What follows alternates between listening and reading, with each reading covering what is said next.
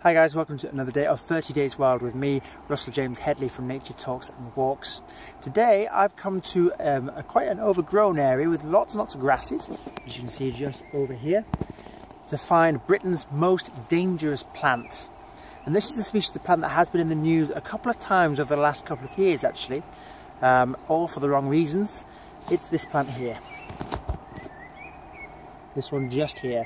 Big spiky leaves, very green, this is giant hogweed.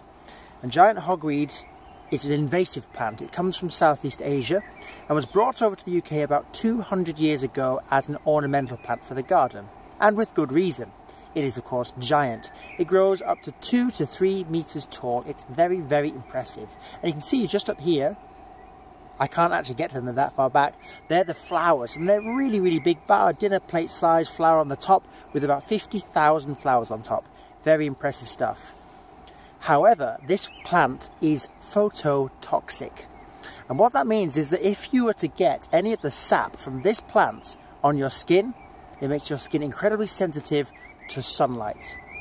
And the burns you normally get, that kind of reddish tinge when you go out too much in the sun, gets intensified. And that leads to severe burns that lands you in hospital. And it can lead to long-term medical conditions. So this is a fairly dangerous plant and it grows quite often, as you can see here, all over here. This is actually in Bolton where I live. And as you can see, it actually also grows down the sides of footpaths. This is a public footpath and you can see it going right along here. So it's certainly one to be wary of. Now, if you were to ever come in contact with this plant, there's one thing to do first of all, and that is to make sure that any skin that's come into contact with the sap, as I say, is wrapped up and kept out of the sun for at least 48 hours. And of course, next thing to do is to go straight to your doctor, just in case. You can recognise giant hogweed from its size. And as I say, these leaves are quite sharp and spiky looking. And they're quite a light green colour. I've got one down here, actually I can show you a bit closer up. So they're quite a light green and also down at the stem the stem is also covered in dark purple hairs, so those are things to watch out for for giant hogweed.